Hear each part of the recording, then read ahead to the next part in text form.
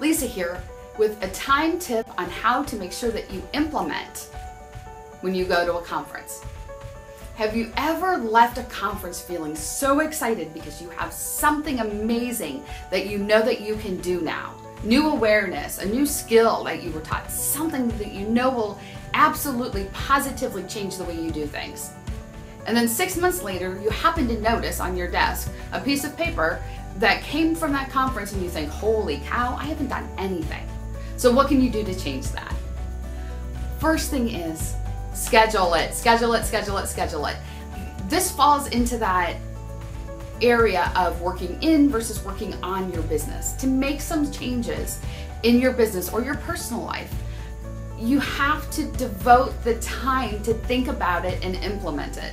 So create a business development day or a business development hour or you choose the time frame. Some people do once a month, some people do a full day a quarter, some do a corporate retreat for, you know, a week, a year.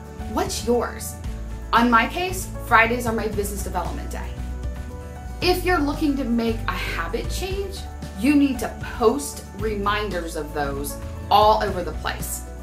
For example, I recently came back from the WBC Women's Business Conference, it's put on by NAWBO, and I learned an amazing strategy to get rid of my pauses.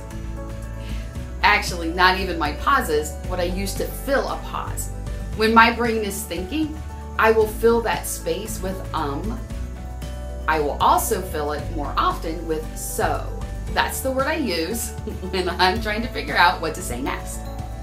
One of the strategies I used there was to take a breath, look down, pause, and come back with whatever it is that I want to say. That's a great strategy. And I don't always remember to use it. So instead, I have put on my computer screen a little post-it note that says pause. It also comes up periodically as a reminder in my phone. This way I keep that top of mind all the time. My question now is for you. What are you going to do to make sure that you implement something that you learned, whether it was from a conference or a networking event or in a conversation with your mastermind group or just from a book you've read? What are you going to do now to make sure that you implement? Post your suggestions below.